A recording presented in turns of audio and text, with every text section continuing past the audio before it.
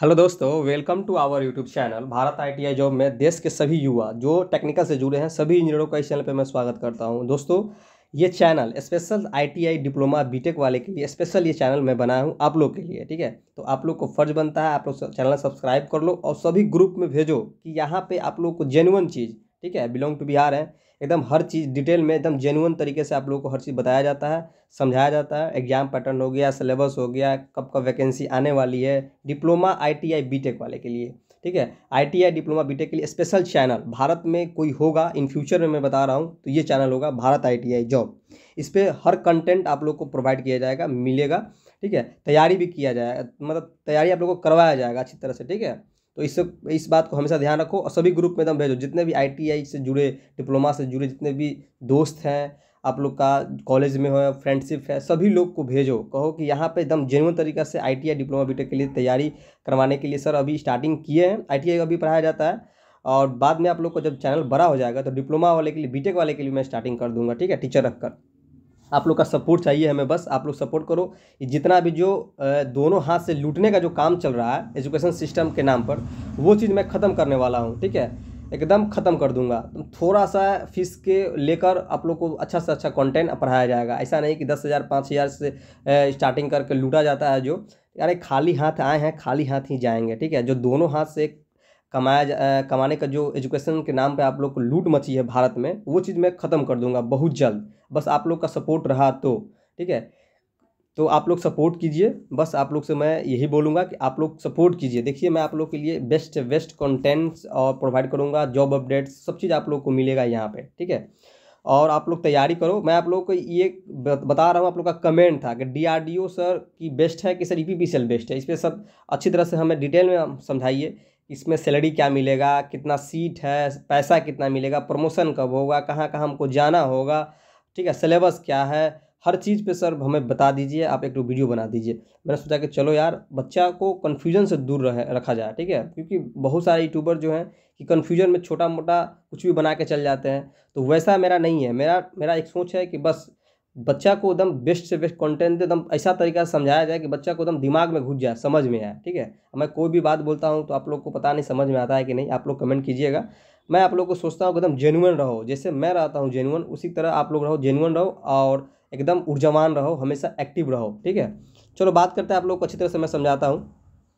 देखो जॉब लेना है ना तो पहले आप लोग पेशेंस के साथ एकदम रहो और जितना भी नशा मुक्ति जितना भी है, सब कुछ से दूर रहो, ठीक है? नशा उशा करने वाला दोस्त, सर्किल सबको छोड़ो और साल भर अपने कमरा में एकदम बंद कर लो, साल भर, दो साल और खुद पे अपना मेहनत करो खुद के लिए, ठीक है?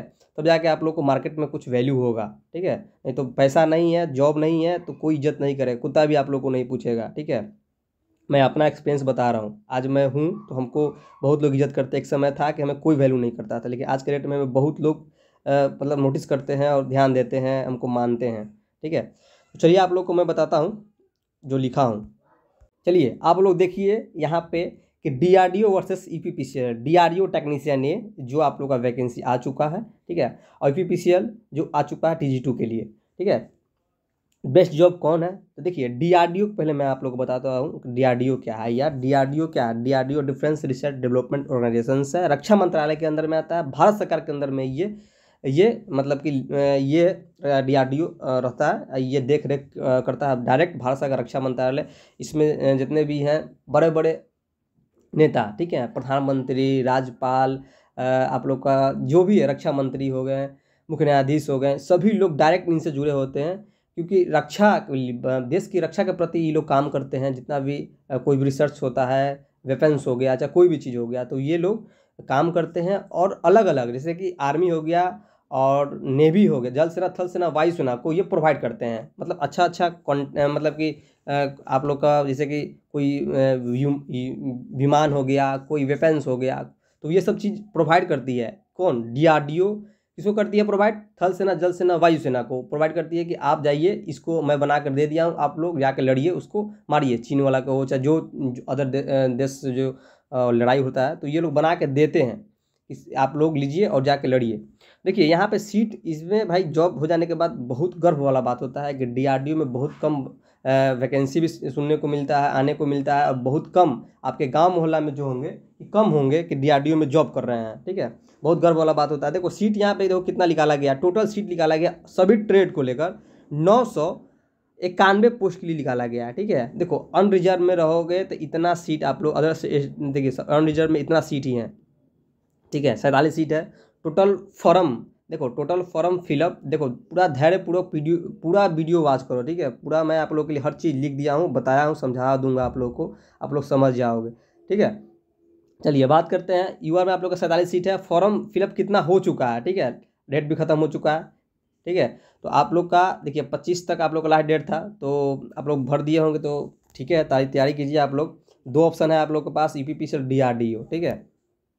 अपकमिंग में तो बहुत सारे डिपार्टमेंट में आने वाली है, लेकिन मैं इसी पर बात करूँगा आज। एक लाख प्लस में आप लोग का फॉर्म फिलअप हुआ है इस बार, ठीक है? डी आर डी ओ में। चलो बात करते हैं सैलरी के लिए। देखो सैलरी आप लोग को उन्नीस हज़ार नौ सौ बेसिक पे आप लोग को मिलेगा सेवन सी पी सी के अकॉर्डिंग ठीक है? तो लगभग आप लोग का मैंने लिखा है कि यहाँ पे छब्बीस हज़ार के आसपास में, छब्बीस हज़ार प्लस हो जाएगा, आसपास में, यही आसपास में रहेगा। देख लो यार उन्नीस हज़ार नौ सौ रुपये ये हो गया बेसिक कितना आप उन्नीस हज़ार नौ सौ और आप लोग का चौंतीस परसेंट ये जोड़ लो, ठीक है? तो वो जोड़ोगे अप्रॉक्स में T A D H R A ये सब चीज़, जो फलाना ठिकाना जो भी होता है, जो अदर अलाउंसेस बहुत सारे अलाउंसेस इसमें इंक्लूड होते हैं, ठीक है? महँगाई भत्ता हो गया। देखो, छब्बीस सौ मतलब कि सत्रह, अठारह सौ, उन्नीस सौ रुपये आप लोग को हर साल आप लोग को बढ़ेगा, ठीक है? ये ये सब चीज़ें आप लोग ध्यान रखना यार। छब्बीस सौ सताईस सौ, अट्ठाईस सौ आप लोग का सत्रह सौ, अठारह सौ, उन्नीस सौ, ऐसा ही कुछ बढ़ जाएगा। आप तो ज़्यादा ही बढ़ेगा। अठारह सौ से प्लस से चल जाएगा। चलिए बात करते हैं। तीन साल, चार साल बाद प्रमोशन हो जाएगा। ऑल ऑल ओवर इंडिया मतलब कि आप लोग कहीं भी भेज सकता है। जहाँ भी इसका वो बना हुआ है, ठीक है, संस्था है, वहाँ पे आप लोग को भेजा जा सकता है। आप लोग ट्रांसफ़र हो जाएगा। प्रमोशन होगा, ट्रांसफ़र के साथ आप लोग को प्रमोशन होते हुए आप लोग वहाँ पे भेज दिया जाएगा, ठीक है? आप लोग का पद ही है टेक्नीशियन और बहुत अच्छा पद है। चलिए सिलेक्शन प्रोसेस बहुत यहाँ पे इंपॉर्टेंस ये बात हमेशा ध्यान रखना यार कि सिलेक्शन प्रोसेस सिलेक्शन प्रोसेस इसमें थोड़ा इजीली नहीं है। ध्यान रखना कि इसमें selection process C B T one आप लोग का एग्ज़ाम होगा प्लस स्किल टेस्ट होगा। एक बात हमेशा ध्यान रखना, अगर आप लोग ने सी बी टी में अच्छा स्कोर किया, ठीक है सी बी टी पास कर गए, जो आप लोग का सिलेबस है, अस्सी नंबर आप लोग का टेक्निकल है नॉन टेक्निकल चालीस है, ठीक है तो उसमें अगर आप लोग ने पास कर लिया, ठीक है, अगर स्किल टेस्ट में पास नहीं किया तो आप लोग का सारा पानी फिर गया, सारा मेहनत जो है आप लोग का बेकार हो गया। तो यही एक डीमेरिट है कि अगर आप लोग तैयारी कर रहे हो तो ठीक से तैयारी करो, नहीं तो ये जो इतना मेहनत कर रहे हो सीबीटी के लिए तो आप लोग को इतना मेहनत इसमें भी करना होगा, ठीक है। ऐसा नहीं कि आप सीबीटी पास हो गए तो आप लोग का जॉब हो गया, वो नहीं है। यू पी में बस एक एग्ज़ाम हो बीच पी में है कि एक एग्ज़ाम दोगे, बस मेरिट लग जाएगा, उसके बाद डी होगा, मेडिकल होगा ज्वाइनिंग करो बात खत्म। लेकिन इसमें क्या है, स्किल टेस्ट होगा। स्किल टेस्ट बहुत मैटर करता है। स्किल टेस्ट अगर पास नहीं होगे तो देख लो, मैं लिख दिया, स्किल टेस्ट पास नहीं हुए तो सब बेकार हो जाएगा आप लोग का। ठीक है, फिर वहाँ से आप लोग सीधे घर चलाओगे। चलिए, बात करते हैं आप लोग को पढ़ना क्या होगा। सिलेबस देख लो यार। देखो, सिलेबस में क्या है आप लोग का? डी आर डी आप लोग को जी के जी एस पढ़ना है आप लोग को, और आप लोग को जी आप लोग का जनरल साइंस और करेंट अफेयर देखना, यहाँ पे जो चीज़ डी ओ के लिए पूछा जाएगा सेम टू सेम आप लोग से यू पी पी में पूछा जाएगा। देख लो यहाँ पे सेम टू सेम है। मैंने देखो रीजनिंग यहाँ पर भी पढ़ना है आप लोग को, यहाँ पर भी पढ़ना होगा। इंग्लिश यहाँ पर भी पढ़ोगे यार, यहाँ पर भी आप लोग को दस नंबर ये भी रहेगा, ठीक है? मैथ मैथ भी यहाँ पे पढ़ोगे डीआरडीओ के लिए तो यहाँ पे मैथ भी रहेगा। मैं सिलेबस सब चीज़ पे आप लोग को बना दी, जो भी आप कमेंट कर रहे हो वीडियो वो सब चीज़ पे मैं वीडियो पहले ही बना चुका हूँ। आप लोग वीडियो के डिस्क्रिप्शन में लिंक है, आप लोग वहाँ से जाके देखो वीडियो खोजो, ठीक है? मैं सब चीज़ पे वीडियो बना चुका हूँ, बहुत पहले, ठीक है? जब वैकेंसी आता है तो मैं सिलेबस एग्ज़ाम पैटर्न कटअप फटअप सब चीज़ पे मैं बता देता हूँ। चलिए बात करते हैं टेक्निकल टेक्निकल क्वेश्चन आप लोग से पूछा जाएगा तो यहाँ भी टेक्निकल क्वेश्चन पूछा जाएगा। यूपी पी बस हिंदी, एक हिंदी मैं यहाँ पर नहीं लिखा हूँ, हिंदी आप लोग से एक्स्ट्रा पूछा जाएगा, जो कि डीआरडीओ में नहीं पूछा जाएगा आपसे, ठीक है? चलिए बात करते हैं कि यहाँ पे देखो, यहाँ पे अस्सी नंबर आप लोग से ये पूछा जाएगा टेक्निकल से रहेंगे नॉन टेक्निकल से आप लोग से ये चालीस क्वेश्चन पूछेगा। डेढ़ सौ क्वेश्चन क्या रहेगा आप लोग को? नॉन टेक्निकल से रहेंगे। ध्यान रखना, बहुत ज़्यादा क्वेश्चन है, डेढ़ सौ क्वेश्चन ई में पूछेगा। और पचास क्वेश्चन आपसे क्या पूछेगा? नॉन टेक्निकल में। ये सभी, इसमें ये सभी इंक्लूड है, ठीक है? रीजनिंग हो गया मैथ हो गया। रीजनिंग हो गया मैथ हो गया आप लोग का, और जी के जी एस करंट अफेयर ये सब चीज़, ठीक है? चलो बात करते हैं कि U P P C L में पचास में से बीस नंबर एकदम ज़रूरी है। देखो, यहाँ पे आप लोग का ये नहीं लाओगे ना तो यहाँ से छड़ जाओगे आप लोग। यहाँ दूसरा एग्ज़ाम नहीं दे पाओगे कॉपी नहीं चेक होगा। तो ये बात हमेशा देख, ध्यान रखना अच्छा बहुत बच्चे का कमेंट था कि, सर, ये एग्ज़ाम कई दिन बाद लेगा? देखो यार, पहले आप लोग को ये एग्ज़ाम लेगा, ठीक है? इसमें पास हो जाएगा तुरंत आप लोग का, आप लोग का ये जो ट्रेड आप लोग एक सौ, डेढ़ सौ क्वेश्चन आपको टेक्निकल वाला है, उसके बाद से ये पचास नंबर नॉन टेक्निकल ये दोनों आप लोग को ले लेगा, कुछ ही देर के बाद में ले लेगा, ठीक है? चलिए बात करते हैं U P T G two जो भी पी के लिए आया हुआ है। तो यू पी पी जो भी वैकेंसी आता है ना, ये टेक्नीशियन का पद होता है टेक्नीशियन फोर में आता है, ठीक है?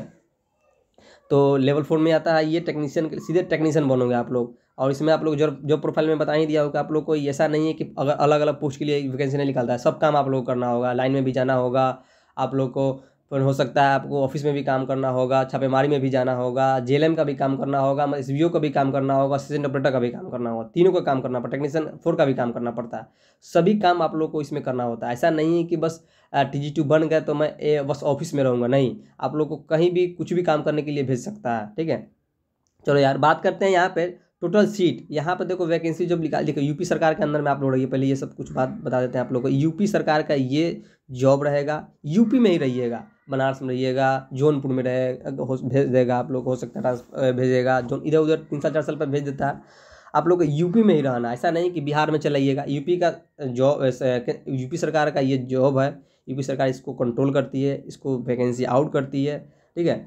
खर्चा करती है तो ये यूपी में ही आप लोग को जॉब है। चलिए जनरल में देखिए, सीट यहाँ पे ज़्यादा है। डीआरडीओ से इसमें ज़्यादा है। डीआरडीओ से इसमें ज़्यादा है। इसमें फाइट आप लोग, अगर स्टूडेंट जो भी जिसका एग्ज़ाम मतलब कि सोच रहे हैं कि या मैं तुरंत भी पास हुआ हूँ या बहुत दिन से तैयारी नहीं कर रहे हैं। तो आप लोग इसमें ध्यान दीजिएगा कि इसमें ज़्यादा सीट है तो बहुत बच्चे इसमें बैठेंगे भी।